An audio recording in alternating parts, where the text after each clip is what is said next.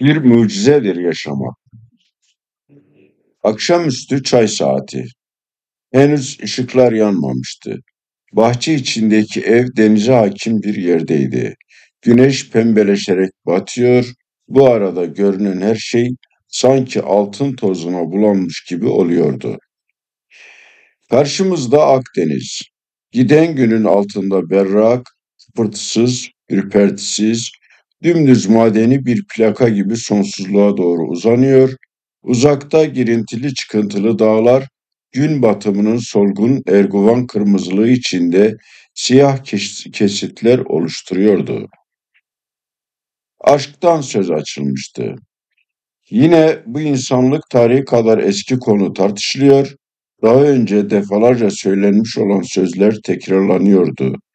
Üstümüze alacakaranlığın tatlı hüznü çökmüş, duygusallaşmıştık. Kah tok bir erkek sesinde, kah bir kadının dudaklarından dökülen bir fısıltıda dile gelen aşk sözcüğü küçük salonu dolduruyor, bir kuş hafifliğiyle havada uçuyor, kanatlarını gererek bir ruh gibi boşlukta sallanıyordu. İnsan uzun süre tek bir kadını ya da tek bir erkeği sevebilir miydi? İşte, işte tartışılan konu buydu. Bu soruyu bazıları elbette sevebilir, bazıları da buna imkan yok şeklinde cevaplıyorlardı. Her iki tarafta iddiasında haklı olduğunu göstermek için kanıtlar gösteriyor, örnekler veriyordu. Dillerinin ucuna kadar gelen ama dudaklarından dökülmeyen anılarının heyecanına kendilerini kaptırmış görünüyorlardı. İki ayrı cins, cinsi birbirine bağlayan bu esrarengiz ve güçlü bağdan derin bir içtenlikle söz ediyorlardı. Bu arada işlerinden uzaklara bakan birisi, bakın şuraya bakın diye haykırdı. Bu da ne? Denizde ufkun derinliklerinden belli belirsiz, kül renkli, muazzam bir kütle yükseliyordu. Kadınlar ayağa kalkmışlar, ilk kez gördükleri bu garip kütleye büyük bir şaşkınlıkla bakıyorlardı. Biri, Korsika adasıdır bu, dedi. Uzak mesafeleri örten sis bulutları kayboluyor ve hava tamamen berrak bir hale gelirse Korsika yılda 3-4 kez böyle buradan da görünür. Adadaki dağların dorukları, hatta buralardaki karlar bile seçilebiliyordu. Herkes denizden fırlayan bu heyula karşısında hayret ve heyecana kapılmıştı. Kolomb gibi meçhul denizlerde dolaşanlar belki buna benzer heyulalar görmüşlerdir. O zamana kadar pek az konuşmuş olan yaşlı bir kişi, bakın dedi. Sanki hem tartışmalarınıza cevap vermek hem de bana garip bir anıyı hatırlatmak amacıyla karşımıza çıkan bu adada ben bir zamanlar inanılma, inanılamayacak kadar mutlulukla, tutkuyla dolu, şaşırtıcı bir aşk hikayesine tanıklık ettim. Beş yıl önce bu Korsika adasına gitmiştim. Bu vahşi ada Fransız sahillerinden ara sıra görünür görünmesine ama bizler için Amerika kadar uzak ve bilinmedik bir yerdir ve sanki hala dünyanın ilk yaratılış günlerindeki kargaşanın sürdüğü bir toprak parçasıdır burası. Birbirinden derin ve dar vadilerle ayrılan, üzerlerinden çağlayanlar akan düzensiz bir dağ silsilesi. Ova yok ama bitmez tükenmez granit dalgaları Korsika haydutlarına sığınaklık eden sık çalılıklar ya da çam ve kestane ağaçlarının oluşturdukları gür ormanlarla kaplı heybetli toprak dalgaları. Bir bayırın tepesinde bazen bir yığın çakıl taşını andıran bir kasabacık çarpar gözünüze. Ama buraları içlenmemiş bakir, ıssız topraklardır. Ne tarım, ne sanat, ne zanaat vardır buralarda. Yontulmuş bir ağaç parçasına oyulmuş bir taşa, nefis eserlere, dedelerimizin duydukları sevgiye ve bu sevgiyle yaşattıkları anıtların hiçbirine rastlayamazsınız. Bu azametli, sert iklimde üstünüzde etki yaratan neyse onunla yetinmek zorunda kalırsınız. Korsika'da sanat yaptı aramak boşunadır. Korsika ve Korsikalılar sanata tamamen ilgisizdirler. Her sarayı başyapıtlarla dolu olan İtalya ise zaten başlı başına bir şaheserdir. Orada mermerler, ağaçlar, tunçlar, demirler, taşlar ve madenler insanoğlunun dehasına tanıklık ederler. İtalya'nın eski zaman evlerinde yer alan eski eserlerin en sıradan olanı bile zerafete duyulan tutkuyu dile getirir. İtalya yaratıcı zekanın kudret ve azametini bütün dünyaya kabul ettirmiştir. Gel gelelim İtalya'nın karşısında yer alan Korsika Adası ise ilk çağların basitliği içinde kalmış, bu çerçevenin dışına çıkamamıştır. İnsan bu adada, bu adanın kaba yapılı evlerinde aile kavgalarına, kıskançlıklara, geçimsizliklere rastlayamaz. Evlerde sanki hayat donmuş kalmıştır. Korsikalılar despot ruhlu, kinci, gözlü kan bürümüş insanlardır ama aynı zamanda eli açık ve konuk severdirler. Kapıları herkese açıktır. İşten gelen samimiyetlerini hemen dışa vururlar. İşte ben bir ay bu muhteşem adada dolanıp durdum. O adadayken dünyanın sonundaymışım gibi bir gariplik çökmüştü içime. Ne bir han, ne bir otel, ne bir bar, ne bir cadde, hiç hiçbir şey yoktu. İnsan burada dar keçi yollarından, geceleri işlerinden çalayanların derin, boğuk uğultularının yükseldiği eğri büğrü dağların bir kenarında adeta asılı gibi duran ufak köylere doğru tırmanır, rastgele bir evin kapısını çalar, geceyi geçirecek sığınacağı bir dam arar. Alçak gönüllü bir sofraya oturur, ıslak bir çatı altında uyur, sabahleyin sizi ağırlamış olan adamın eline sıkar, çıkıp dersiniz. Bu akşam 10 saatlik bir yürüyüşten sonra yaklaşık bir kilometre ötede denize ulaşan dar bir derenin dibinde çevresi tamamen ıssız bir kulübeye varmıştım. Dağın çalılıklarla ve üst üste yığılmış kayalarla örtülü iki dik eğimini devasa ağaçlar adeta bir duvar gibi örmüştü burada. Bu garip, insana hüzün veren kulübenin çevresinde bir iki asma ağaç çubuğu, küçük bir bahçe ve daha ötede birkaç büyük kestane ağacı vardı. Beni yaşlı bir kadın karşıladı. Odadakilerden farklı olarak sade ve temiz giyimliydi. Bir sandalyeye çökmüş olan erkeği beni selamlamak için ayağa kalktı ve tek kelime söylemeden tekrar oturdu. Kadın, onun kusuruna bakmayın dedi. Sağırdır, 82 yaşında. Mükemmel Fransızca konuşuyordu. Hayretle, siz Korsikalı değil misiniz diye sordum. Hayır dedi. Biz Avrupalıyız. 50 yıldır burada oturuyoruz. İnsanların yaşadığı kentlerden bu kadar uzakta, bu ıssız kulübede geçen 50 yılı düşünmek bile içimi daraltmıştı. Kulübeye girdik. Yaşlı adam da bizimle beraber girdi. Sofraya oturduk. Bir tek kaptan oluşan ağır akşam yemeğine domuz yağıyla pişirilmiş patatesli lahana çorbasına kaşık sallamaya başladık. Yemek bitince dışarıya çıkıp kapının önündeki tahta bir sandalyeye çöktüm. Gurbet ellerde akşam çökünce bir gariplik duygusu, bir hüzün kaplar ya insanın içini. Ben de o an böyle duygular içindeydim. Varlık, hayat ve evren.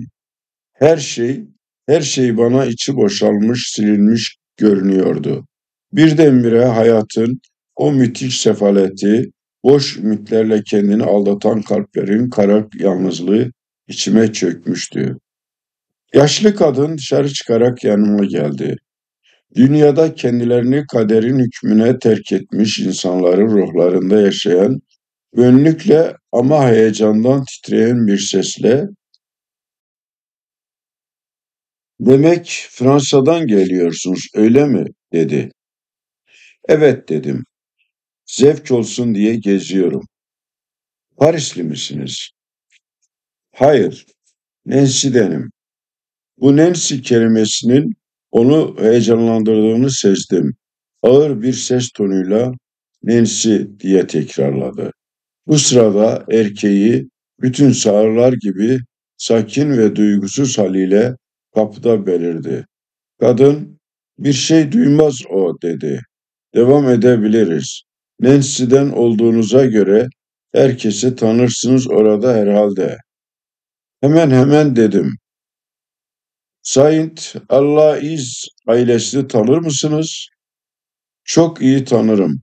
Babamın dostlarındandılar. Adınız, adımı söyledim, gözlerini gözlerimden ayırmıyordu. Anıları canlandıran yavaş ve boğuk bir sesle. Evet, hatırlıyorum dedi. Çok iyi hatırlıyorum. Ya biraz merler ne oldular?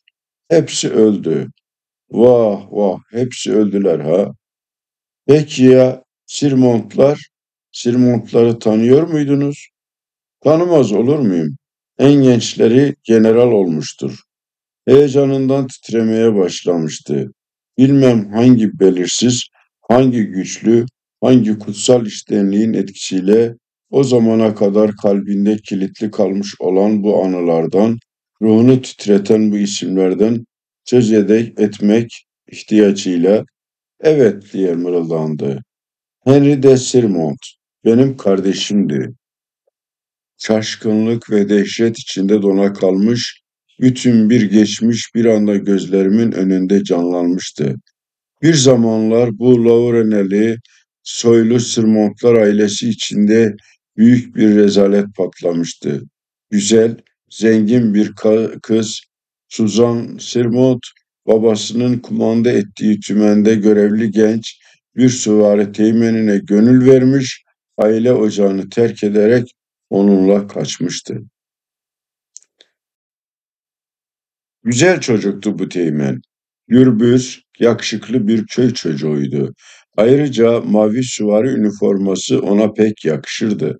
Bu iki özelliğiyle kumandanın kızının gönlünü çalmış, aklını başından almıştı. Kız onu bir geçit töreninde görmüş ve hemen aşık olmuştu. Ama nasıl konuşmuş, aşkını nerede itiraf etme fırsatı bulmuş, onunla nasıl anlaşmıştı. Bunlar hiçbir zaman açığa çıkmadı. Kimseye bir şey sezdirmemişlerdi. Bir akşam nöbetini bitiren Teğmen, sevdiği bu kızla birlikte ortadan kayboluvermişti. Her yeri aradılar, taradılar ama bulamadılar. Kendilerinden bir daha hiçbir haber alınamadı ve her ikisine de öldü gözüyle bakıldı. Şimdi ben 50 yıl sonra onu bu korkunç vadide buluyordum. Bunu kendisine söyledim. Şimdi iyice hatırladım. Siz Bayan Suzan'sınız. Başıyla evet işareti yaptı. Ağlıyordu. Bir annenin eşiğinde hareketsiz oturan ihtiyarı bana gösterdi. İşte o dedi. Anladım ki onu hala seviyordu. Bakışlarından çıkartmıştım bunu. Mutlu oldunuz mu bari diye sordum. İşten gelen bir sesle cevap verdi. Oh evet çok, çok mutlu oldum. Beni çok mutlu etti o. Hiçbir zaman pişman olmadım yaptığıma. Bu aşkın kudreti karşısında ona hem hayran hayran hem de mahzun mahzun bakıyordum. Bu zengin kız bu adamın bir köylünün peşine düşmüş, onun yanında o da bir köylü karısı olmuştu. Her türlü incelikten, süsten, zarafetten yoksun bir köylü kadın işte.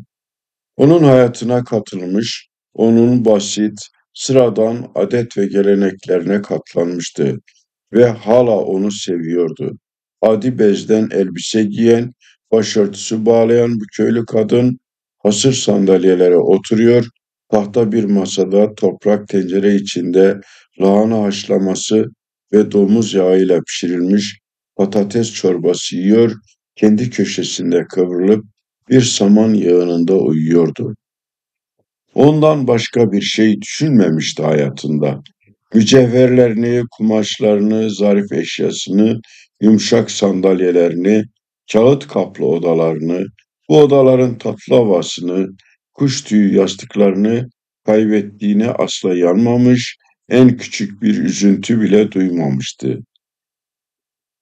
Sevdiği adamın varlığı dışında hiçbir istek, hiçbir özlem onu sarmamış, onunla beraber yalnız onunla beraber olmak ona yetmiş, bundan fazlasını istememişti. Gençlik çağında, en körpe yaşında, kendisini büyütenleri, sevenlerini, dünyayı ve hayatı terk etmişti. Onunla yalnız başına bu vahşi, ilkel çukura gelmişti. Onun her arzu ettiğine, her hayal ettiğine, her umduğu, her beklediği şeye bedenini, ruhunu kapamış, bütün bu fedakarlıklara karşılık genç adam onun hayatını mutlulukla doldurmuştu. Hayır, Batmazel Sirmont bundan fazlasını isteyemezdi. Bütün gece bu kadar uzak yerlerde kendisini izlemiş olan kadının yanı başında kötü ve pis yatağında uyuyan ihtiyar askerin boğuk horultusunu dinledim. Ve bu garip, bu basit ama ender görülen olayı, bu aşk serüvenini, bu harikulade mutluluk örneğini düşünerek sabahladım. Şafak sökerken iki ihtiyarın ellerini sıkarak yanlarından ayrıldım. Adam sustu. Onu dinleyen kadınlardan biri, bu olayda olağanüstü hiçbir yan yok dedi. Suzan Sirmont basit idealleri olmayan, kısacası ilkel yaratılışta bir kadınmış. Bence bir budaladan başka bir şey değil. Bir başka kadın içini çekerek ağır bir sesle ne önemi var diye mırıldandı. Mutlu olmuş ya. Uzakta, ufkun derinliğinde Korsika karanlığa gömülüyor, yavaş yavaş denize dalıyor, sahillerine sığınmış iki yoksul sevdalının hikayesini sanki bizzat anlatmak için ortaya çıkan muazzam silüeti siliniyordu.